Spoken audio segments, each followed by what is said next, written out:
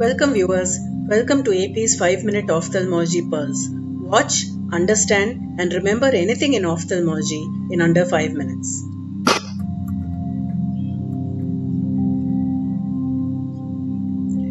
This is the first of a three-part series on Berlin's edema. This video deals with the basics of Berlin's edema. The next video will deal with cherry red spot in detail and the third part will deal with advanced details for postgraduate residents. So, where do you exactly get Berlin's edema? Commotio retinae refers to the retinal whitening that occurs as a result of blunt trauma to the retina. Commotio retinae that is present in the posterior pole is referred to as Berlin's edema. So, what are the causes? Who are the people who are at risk? People who engage in sports such as cricket, football, basketball, tennis, and other contact sports are major risk factors. Assault is another common cause. Road traffic accidents, including injury with airbags, are another high risk source.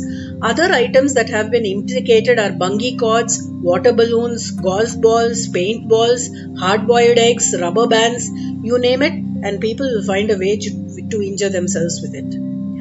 How exactly does trauma produce these effects? The mechanism is by a contrecoup injury shock waves are transmitted across the eye and strike the opposite side of that of impact. Why are these effects produced?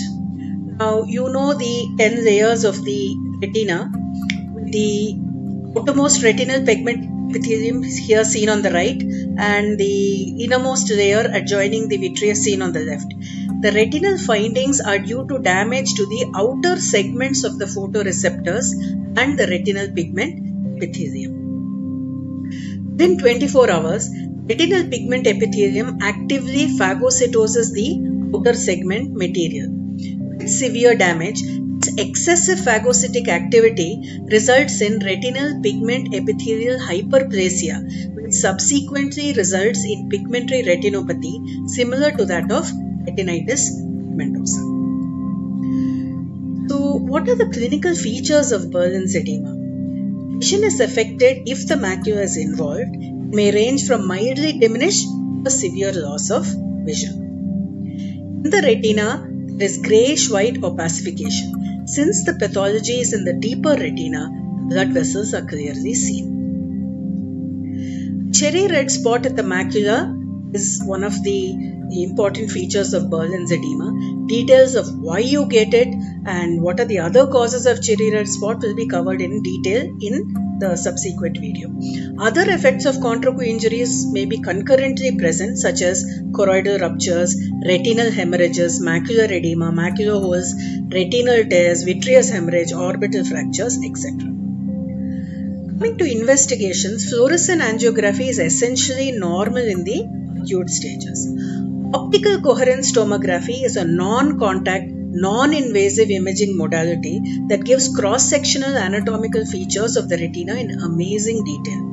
The OCT shows hyperreflectivity in the outer segments of the photoreceptors in Berlin's edema. That is where the damage is. And defects in the retinal pigment epithelium may be seen with more severe injury. So, what is the course of this condition? When does recovery occur?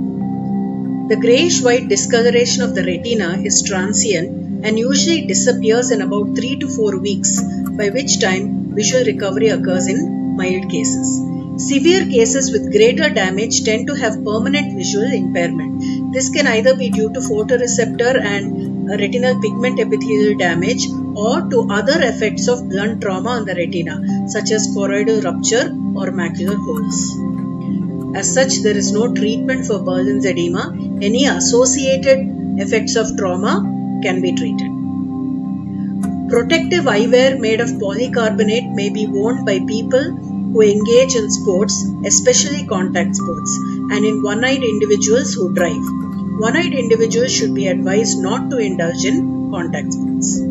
So that's it for today. If you like what you saw, Please give this video a like, subscribe to my channel and hit the bell icon to never miss an update from AP's 5 Minute Ophthalmology Pearls. Please leave a note in the comment section if you wish for any particular topic to be covered in future. Look forward to weekly updates. Thank you for watching.